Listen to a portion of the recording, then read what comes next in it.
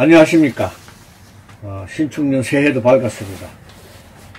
신축년 새해, 속지해, 간에 편안하시고, 기쁨이 가득하고, 독자 여러분의 1년 내내 보람차고 건강한 한 해가 되었으면 좋겠습니다. 어, 지금부터 대나무 그림을 시리즈로 해서 그리도록 하겠습니다.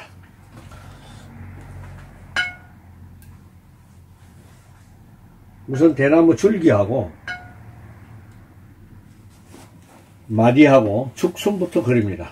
우선 줄기를 그리는데 줄기는 맨 처음에 어, 예서 걸치를 쓰듯이 45도 각도로 해가지고 천천히 숨을 멈추고 올라가면 됩니다. 그래서 우선 붓을 대고 천천히 올라가서 또 쉬었다가 다시 또 올라가고 또 쉬었다가 다시 올라가고 또 쉬었다가 쭉 올라갑니다. 요건 약간 굵은 대나무 줄기고 저는 이제 가는 대나무 옆에서는 이렇게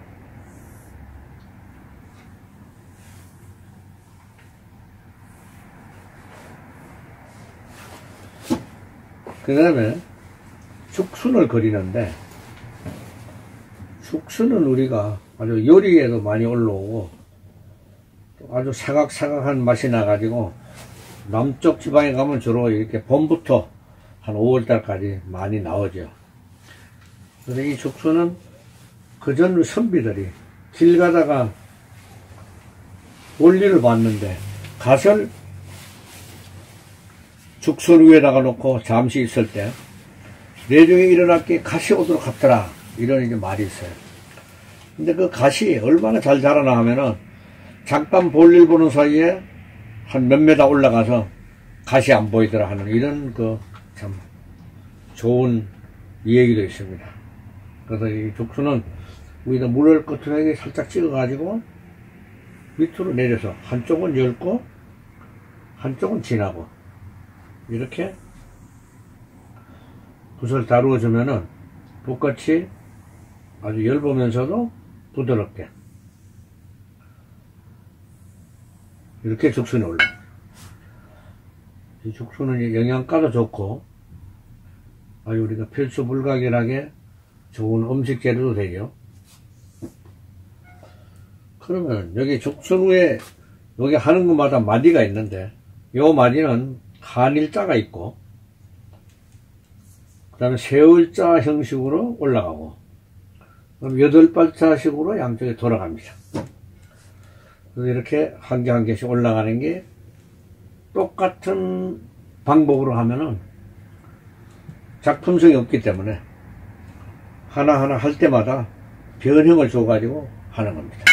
그리고 요 큰 가지에서 작은 새 가지로 나가는데 요 가지가 마디에서 올라와 가지고 좁게 하게 올라갑니다.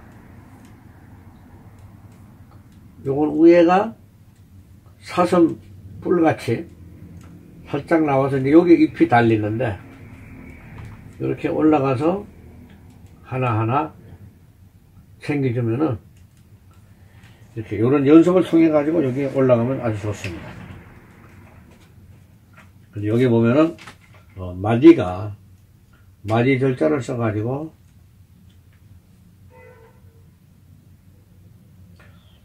한일자 식으로 쓰고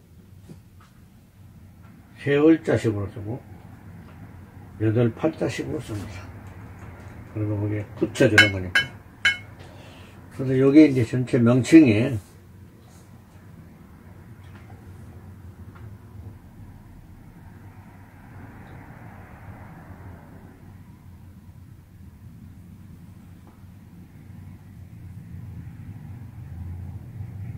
대나무 줄기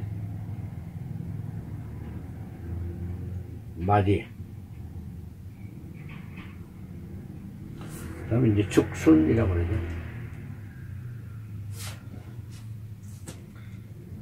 요건 저렇게인데 죽소는 이제 대죽자를 써가지고 죽손이라고 이제 하고. 요건 이제 큰 대나무 줄기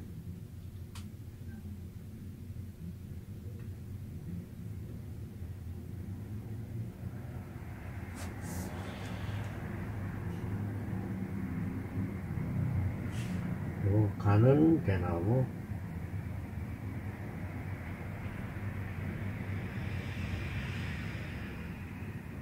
저기.